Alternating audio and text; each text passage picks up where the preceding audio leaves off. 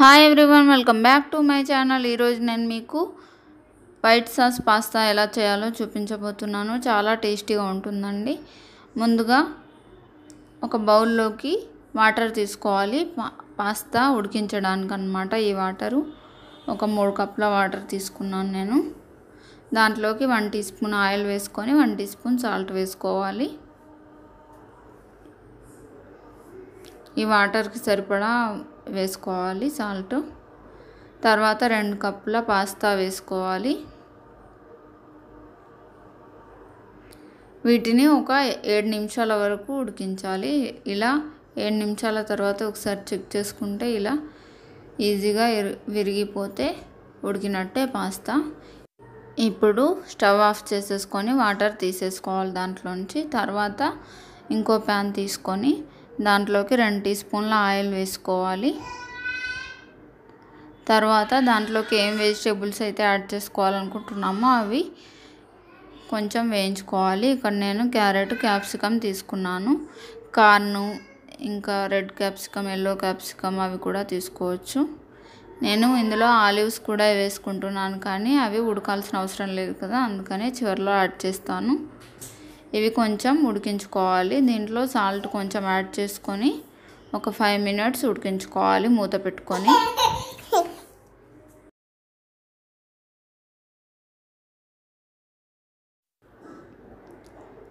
కొంచెం ఉడికాయి కదా ఇప్పుడు వీటిని బయటకు తీసుకోవాలి.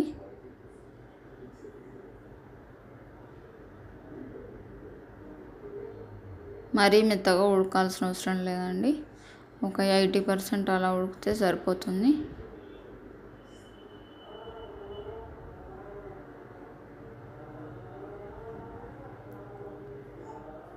అదే ప్యాన్లోకి రెండు టీ స్పూన్ రెండు టేబుల్ స్పూన్ల బటర్ యాడ్ చేసుకోవాలి.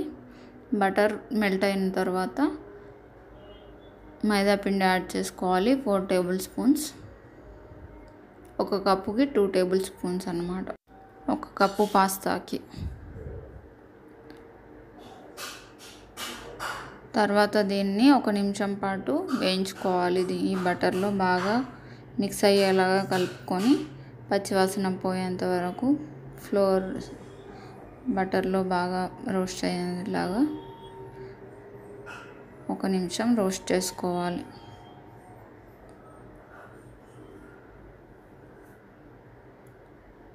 చూసారు కదా మంచిగా రోస్ట్ అయిపోయింది. ఇప్పుడు దీంట్లో కొద్ది కొద్దిగా పాలు యాడ్ చేసుకోవాలి. ఒక మూడు కప్పుల పాలు యాడ్ చేసుకోవాలి.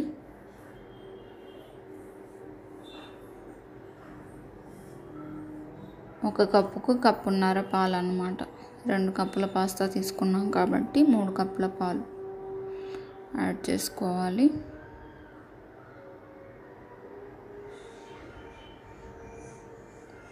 ఈ ఉండలు లేకుండా బాగా మిక్స్ చేసుకోవాలండి. ఇప్పుడు ఉండల్లాగా కనిపిస్తుంది కానీ బాగా మిక్స్ చేస్తే పోతుంది.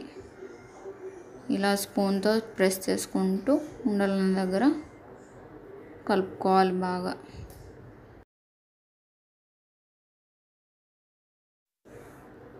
దీన్ని ఒక ఐదు నిమిషాల పాటు లో ఫ్లేమ్లో కలుపుకుంటూ ఉడికించుకోవాలి.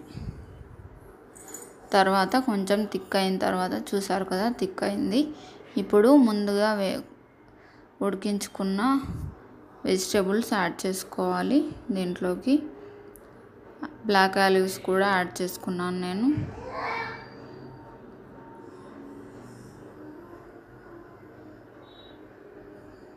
తర్వాత one teaspoon salt one teaspoon pepper add చేసుకోవాలి.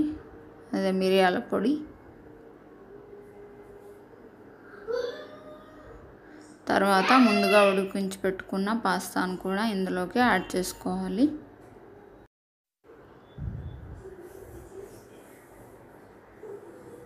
ఆ వైట్ సాస్ బాగా పట్టేలాగా మంచిగా కలుపుకోవాలి ఇప్పుడు దీన్ని.